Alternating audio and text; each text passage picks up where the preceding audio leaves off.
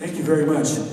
We're going to close out our set with a um, uh, really interesting piece. Uh, Astor Piazzolla was one of the uh, greatest of the uh, composers in Argentina. He composed classical music and also indigenous folklorico music uh, representing uh, Argentina.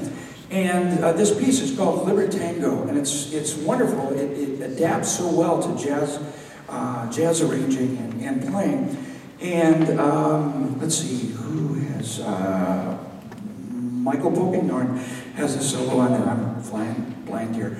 Um, and also uh, another graduating se- uh, senior, Raeanne Madison. Yes. And I would like to acknowledge uh, one more graduating senior, Brent Guimau.